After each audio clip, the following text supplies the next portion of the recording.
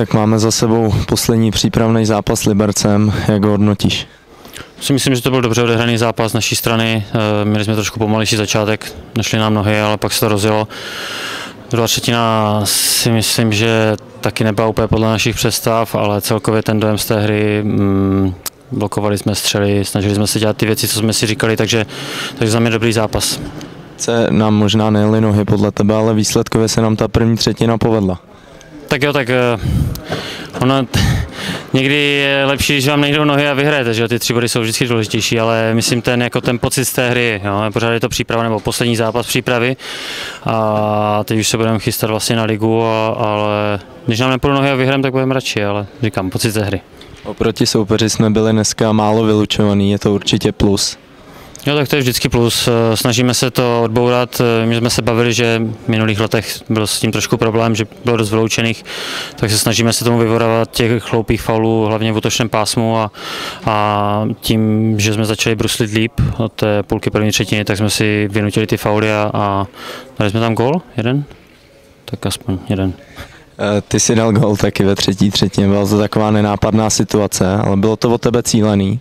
Bylo, protože jsem měl propuk a chtěl jsem ho původně hodit za bránu, takže jsem si nastavil hokejku a, a přišlo mi, že Golman tam trošku jako naznačil a potom mě to nečekal, protože to prošlo hráče mezi nohama a on vlastně dostal stádamu taky, ani to nešlo po ledě, takže takže Venca Skuhravý mi říkal, že mám konečně trefit bránu, tak jsem zkusil na bránu a byl z toho hned gol. No. Asi nejvíc zápasů si odehrál ve spolupráci s Filem Pětronerem, tak jak ti tato spolupráce sedí zatím? Jo, ta spolupráce mi vyhovuje, myslím si, že nám obou. Hodně si tam rozumíme, dobře se doplňujeme. Doufám, že to bude tak fungovat i, i v sezóně. Eh, Jak celkově hodnotíš tuhle přípravu, která byla premiérová u rytířů pro tebe?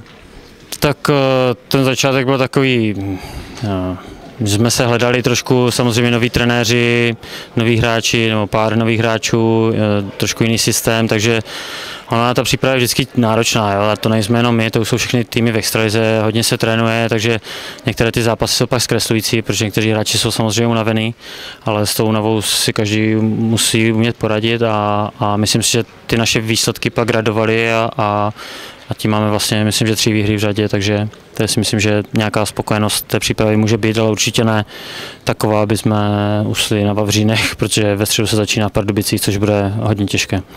Je to tak, máme teď tři výhry v řadě proti extraligovému týmu, takže s čím pojedeme do Pardubic proti největšímu favoritovi na titul zřejmě. Tak určitě tam pojedeme s tím, aby jsme se toho soupeře nebáli. Jo. Jako Pardubice mají obrovskou sílu, s tím musíme počítat, to si jako nebudeme nic nalhávat.